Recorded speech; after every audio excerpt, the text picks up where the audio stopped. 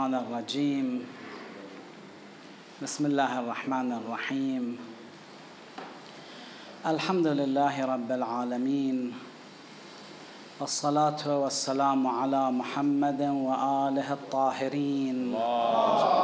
صل على واللعنة الدائمة الأبدية على أعدائهم أجمعين إلى يوم الدين. آمين رب العالمين. أفلم يهد لهم كم أهلكنا قبلهم من القرون يمشون في مساكنهم. إن في ذلك لآيات لأولي النهى. تحدثنا في الليلة السابقة والبحوث السابقة عن الهداية الإلهية. فإما يأتينكم مني هدى. بعد أن أرسل الله تبارك وتعالى هدايته للبشر هنالك موقفان. الموقف الأول فمن اتبع هداي جمع من من المؤمنين يتبعون هدى الله تبارك وتعالى فلا يضل ولا يشقى. من اتبع هدى الله تبارك وتعالى لا يضل في الدنيا ولا يشقى في الآخرة. الموقف الثاني لجمع من البشر وما أكثرهم ومن أعرض عن ذكري. هذا الشخص المعرض عن ذكر الله تبارك وتعالى فإن له معيشة ضنكا. ونحشره يوم القيامة أعمى. قال كذلك أتتك آياتنا فنسيتها وكذلك اليوم تنسى. هذان موقفان من البشر أمام الهداية الإلهية. ولكن القرآن الكريم الدين الإلهي لا يكتفي بالوعظ والإرشاد وذكر بعض القضايا التاريخية السابقة. أنتم تارة تعظون شخصا. تذكروا لفرد قضية تاريخية سابقة. هذا الشخص لا يعيش تلك القضية التاريخية. ما يدركها ما يستوعبها. ما يفهمها. يمكن يعرف مجموعة من الأمور حدثت في السابق تذكروا له تسردوا له ولكن ما يعيش بوجدانه. القرآن الكريم يبين بعض النماذج الحية حتى يلمسها الإنسان بوضوح. نموذج حي خارجي. هذا النموذج الخارجي إذا أنت تشوفه إذا الإنسان يشوفه يأثر به أكثر من قضية تنقل تنقل في غابر الزمن حدث شيء ما فاتعظ. جيد هذا. أما بهالمقدار ما يكفي. يحتاج إلى عرض نموذج حي خارجي مؤثر في وجدان الإنسان. مو بس نظريات مو بس مواعظ مو بس حكاية قضية تاريخية حدثت ووقعت قبل آلاف السنوات. هذه الآية تريد أن تبين أن الكفار الذين عاصروا رسول الله صلى الله عليه وآله لماذا لا يعتبرون بما جرى على الأمم السابقة. وهم يرونها بأم أعينهم. يشوفون تلك الآثار. يمشون في مساكنهم. أفلم يهد لهم كم أهلكنا قبلهم من القرون؟ هل مقدار؟ بيان. بيان حقائق تاريخية. المقطع الآخر يقول أنت تشوف تلك الآثار الباقية من تلك الأمم السابقة يمشون في مساكنهم. العرب كفار قريش المعاصرين لرسول الله صلى الله عليه وآله اللي كانوا في الجزيرة العربية. ذولا كانت لهم سفرات.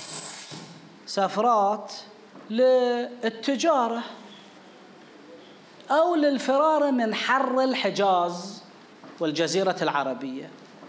الحر الشديد في الصيف أو البرد الشديد في الشتاء صحراء. فصيفها حار جدا شتاها بارد جدا. فذولا كانوا يسافرون بالسنة مرتين أو أكثر إلى مناطق باردة في الصيف ومناطق حارة في الشتاء يعني جوها يكون ملائم للترفيه وللتجارة الله تبارك وتعالى يقول في القرآن الكريم لإيلاف قريش إيلافهم رحلة الشتاء والصيف في الصيف حيث الحر الشديد وين كانوا يروحون؟ يروحون للشام. هناك بالشامات ما أدري اللي رايحين سوريا شايفين الجو هناك في الصيف في كثير من مناطقها جو لطيف جدا. في البرد الشديد وين كانوا يروحون؟ يتجهون نحو اليمن. هناك الجو يكون ملائم أكثر من جوهم في شبه الجزيرة العربية. بالطريق في الذهاب إلى الشام.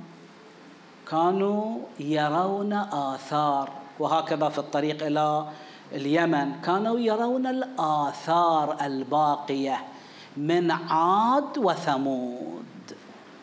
هذا النموذج حي. دا تشوفها بعينك هالأمم وين صاروا؟ شنو من حضارات كانت عندهم؟ حضارات عملاقة كانت.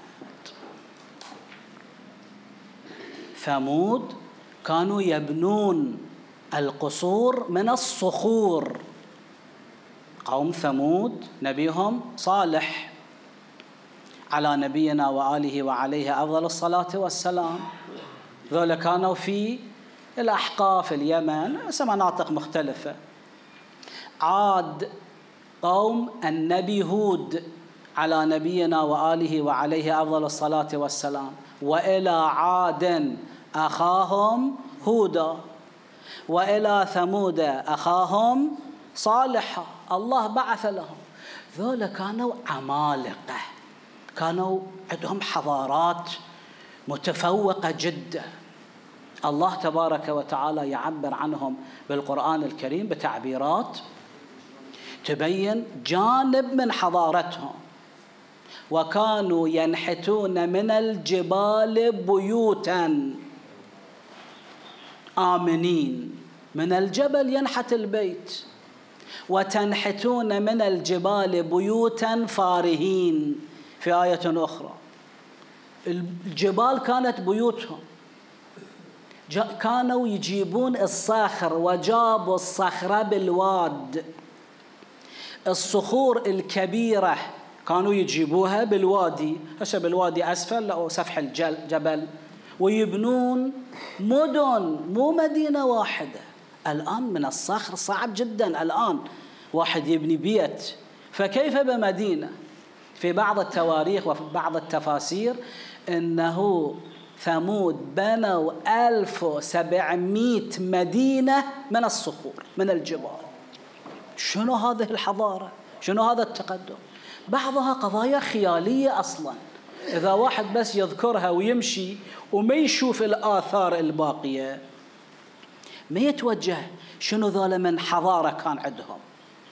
واحد ينظر إلى الآثار الموجودة الآن أهرامات مصر هذا من عجائب السبعة التاريخية. هاي الأهرامات شلون انبنت؟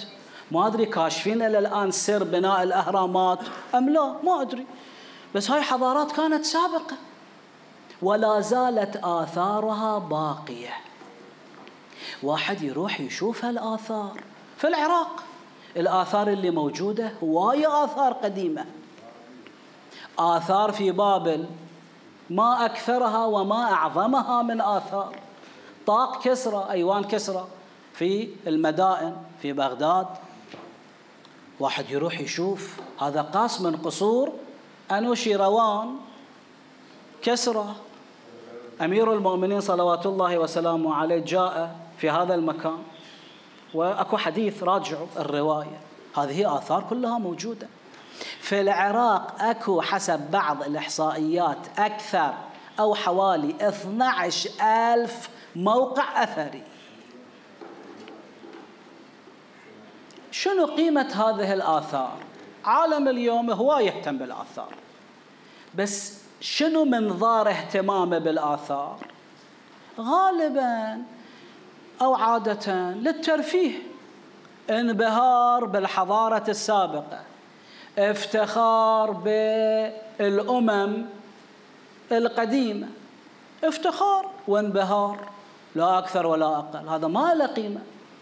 أغلب الناس اللي يروحون لزيارة الآثار ومشاهدة التاريخ الموجود في هذه الآثار ينطلقون من منطلق الترفيه. وينسى. نروح للونسة نشوف ذولا شلون عظمة عندهم شلون جبروت عندهم شلون تقدم كان شلون أثر عنده شلون حضارة كانت تحكم العراق أو سوريا أو أو أو. هذه المدن. هذا ما له قيمة. ثم ماذا؟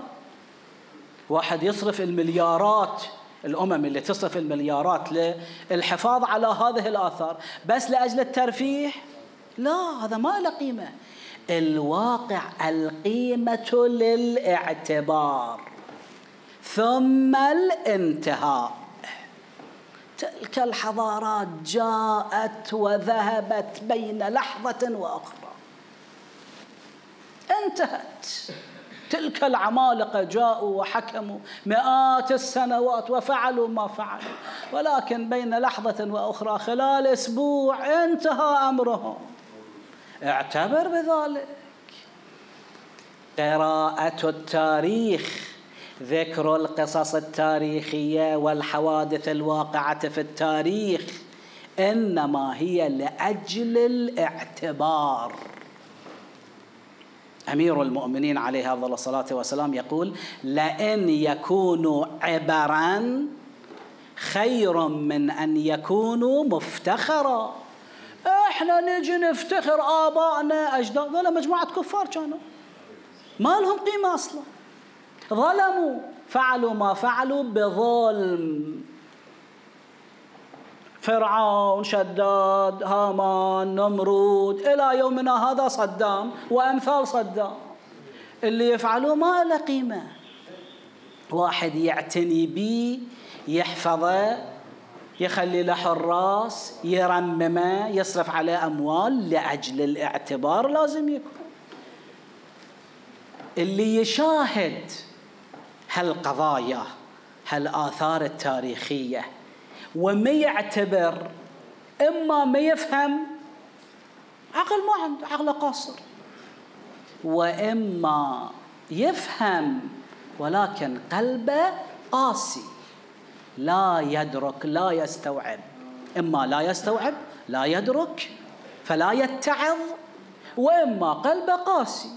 يشوف الموعظة ها؟ ولكن لا تنفذ الموعظة في قلبه. يقول رسول الله صلى الله عليه وآله أغفل الناس من لم يتعظ بتغيير الدنيا من حال إلى حال. هؤلاء سلاطين اليوم الحكام تحت أي مسمى سواء كان اسمه رئيس الجمهورية أو اسمه ولي الأمر أو اسمه القائد ما أدري مالك الأشتر. أو مختار العاص أي واحد تحت أي اسم كان خل يعتبر بتلك الأمم السابق. ونحن أيضا لابد أن نعتبر تحت أي اسم كان. عالم مرجع خطيب واعظ أبو في البيت. لا يتصور أنه هو الجبار. ويكون كلمته أنه أنا أفعل كذا أدمره أحطمه أسحقه تحت قدمي. الله بين لحظة وأخرى يدمر كل من يقف بوجه الحق بوجه الله تبارك وتعالى. ينسف من الوجود نسفا ما يبقى من عنده إلا طاق كسرة هذا هو. ألم تر كيف فعل ربك بعاد؟ إرم ذات العماد التي لم يخلق مثلها في البلاد. شنو الله سوى لهم خلال سبعة أيام.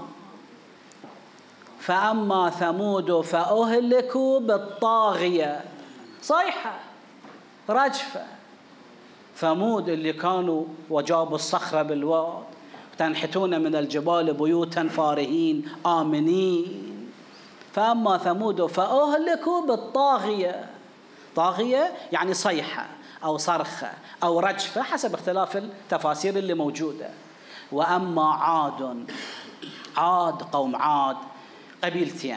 قبيلة كانوا قبل الميلاد بسبعمائة سنة وقبيلة قبل التاريخ أصلا كم ألف سنة قبل اللي الله بالقرآن يعبر عنهم. وأما عادا الأولى عادا الأولى. أكو عاد الأولى أكو عاد الثانية. وأما عاد هذول كانوا طوال. وعندهم قصور ضخمة جدا وكانوا أشداء مقاتلين. هذول اللي يفتخرون بجنودهم وتطوراتهم الحربية وأسلحتهم المتقدمة والأفراد اللي عندهم المقاتلين اللي عندهم. ذولا بين لحظة وأخرى الله تبارك وتعالى يقضي عليها وأما عاد فأهلكوا بشنو؟ بريح صرصر عاتية ريح هواء سخرها عليهم سبع ليال وثمانية أيام حسوما. شنو النتيجة؟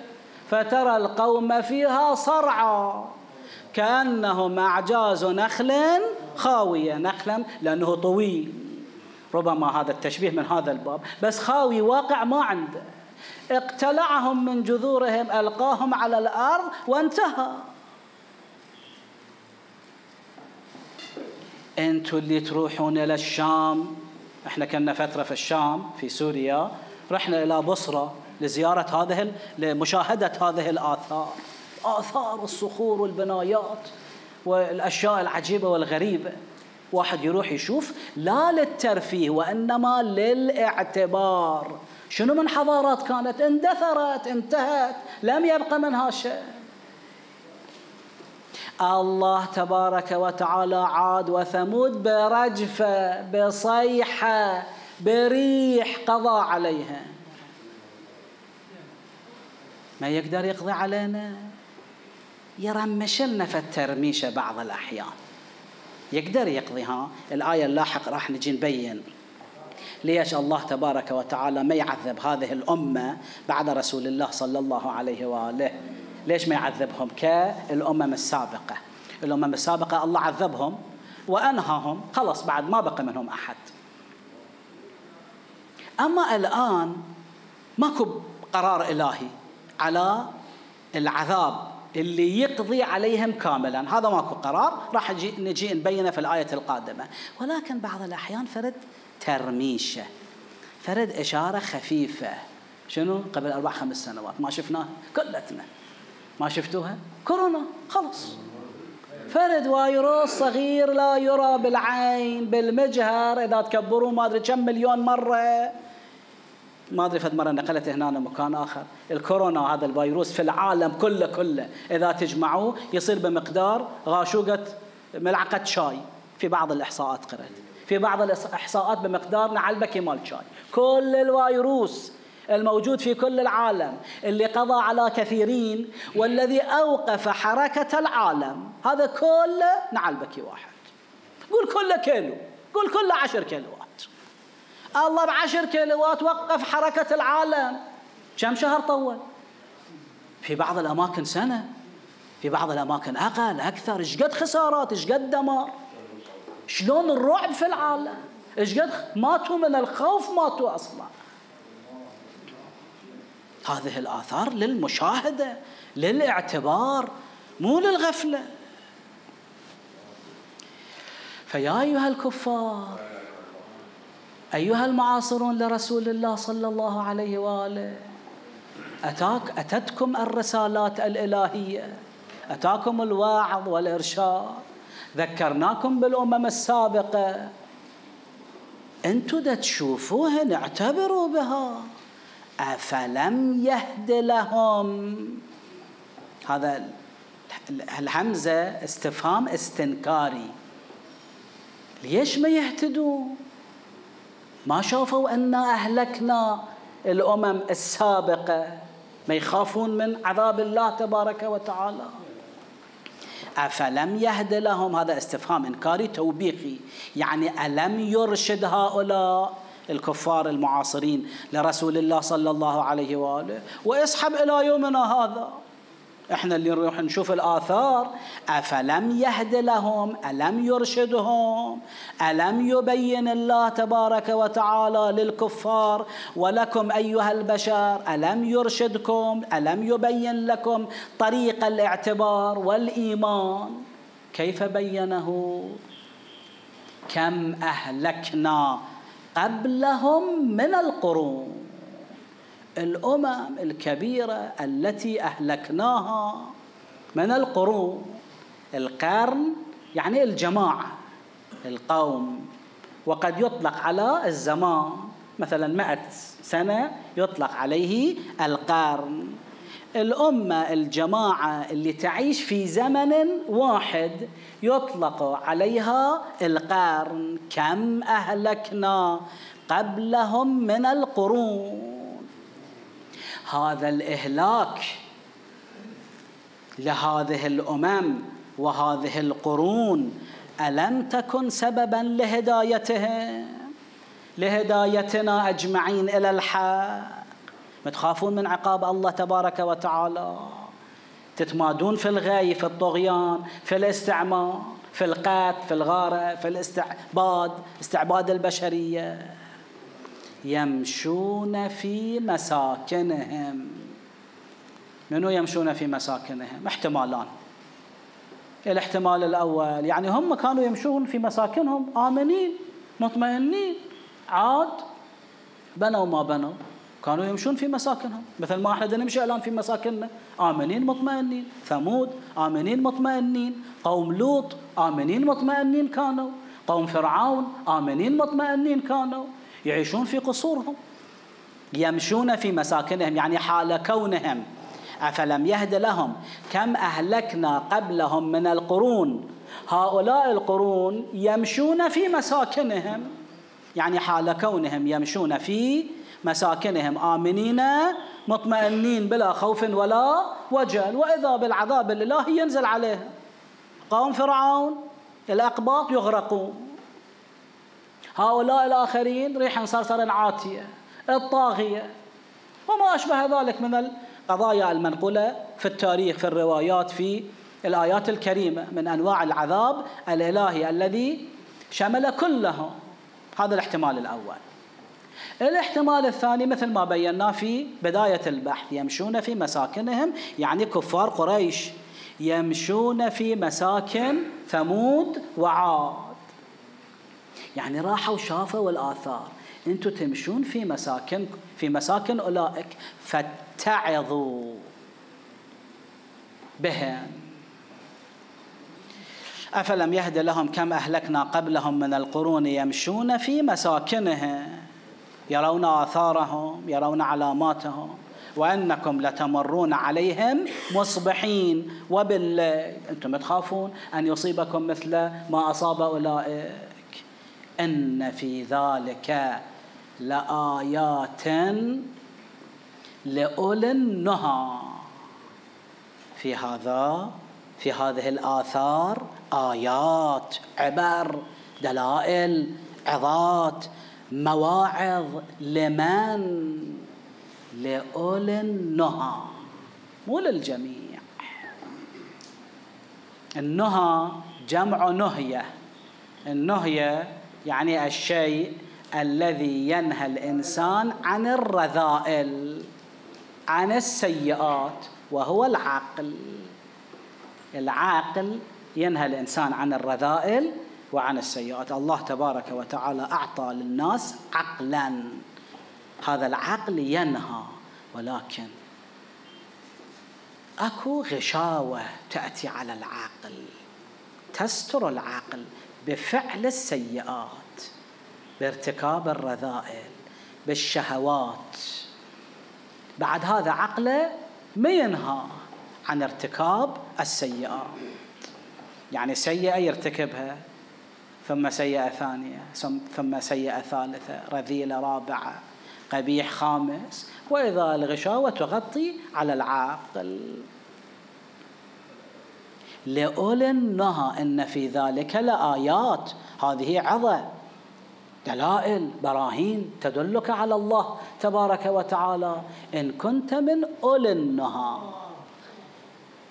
ما يقول أولي العقل أو أولي العقول؟ في القرآن الكريم عندنا لأولي النهى عندنا لأولي الألباب لأولي العقول ما عندنا ليش؟ لأن العقل قد يغطى بشيء فلا ينهى. الذي ينتهي الذي يعتبر بهذه الآيات إنما هو صاحب العقل الذي ينهاه عن ارتكاب السيئات والرذائل. طبعا اكو فرد بحث مفصل أصولي فلسفي. اللي هل العقل يحكم أو يرى فقط؟ العاقل بعض الأصوليين والفلاسفة يقولون العقل دوره دور المرآة فقط. بس يراوي لك القبيح والحسن بس ما يقول لك سوي لا تسوي. المرآة تراوي لك وجه الإنسان وسخ ملابسه مو مرتبة بس المرآة ما تقول لك سوي لو ما تسوي فشي آخر يقول لك سوي أو لما تسوي. جماعة من الأصوليين والفلاسفة يقولون لا العاقل بالإضافة إلى أنه يرى يريك الواقع يحكم. يقول نفذ هذا حسن. افعله هذا سيء. ابتعد عنه بغض النظر عن هذا البحث هذه الآية والآيات المشابهة ربما تؤيد النظرية الثانية بأن العقل يحكم. لذا يقول لأولي النهى مو لأولي العقول. البشر كلهم عندهم عقل. اللي ما عنده عقل مو مكلف أصلاً. الذي عقله ينهى هو الذي يعتبر. أما الغارق في الشهوات الذي أسدل ستارا على عقله هذا شنو؟ لا يعتبر. لذا وأنكم لتمرون عليهم مصبحين وبالليل ولا تتعظون ولا تعتبرون. مجرد رؤية مجرد رؤية ما لها قيمة. الرؤيا التي بعدها الاعتبار لها القيمة. إن في ذلك لآيات لأولي النهى. من هم اولو النهى؟ مصاديق عديدة. قمة أولي النهى أصحاب العقول اللي هي في القمة. في تأويل هذه الرواية في, تأويل هذه الآية الكريمة.